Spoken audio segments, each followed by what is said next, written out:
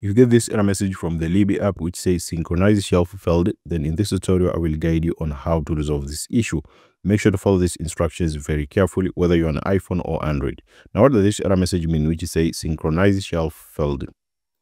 The synchronized shelf failed error in the Libby app usually means the app is having trouble syncing your borrowed books or data between your device and the library server. You can try to fix this error message by trying to following these steps here.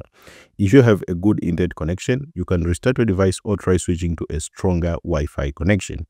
Now, maybe if you have a good internet connection, but you're still facing again the same issue, now Libby servers may be down. You can just go to this website here, which is status.overdrive.com.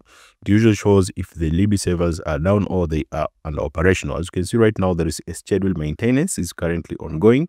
If you go here to Libby's, you can see under maintenance. So Libby's under maintenance. That's why you're getting this error message here. So the main reason if the Libby servers maybe are down, you'll need to wait until the servers are restored. If it's an operational, then you can try the fix here. Make sure Libby is updated from the App Store or Play Store. So we can just go to the App Store or Play Store on Android and make sure the Libby app is updated.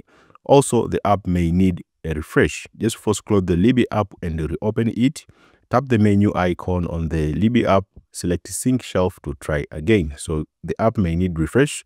First closing the Libby app and reopen it. Tap the menu button and then select sync shelf to try again. Also, this may be account issues. So you can just go to the menu on your Libby app, select li library cards, check if your card is still valid. If expired, you may need to re-authenticate it. So this is the best guide on how to fix this error, which say synchronize shelf failed. Make sure to follow these instructions very carefully. But the main reason which I normally see is the Libby servers may be down. Just go to this site here, which the link will be available on the description, which is status.overdrive.com. And make sure Libby is not under maintenance. If it's under maintenance, just wait for a few hours until the servers are restored.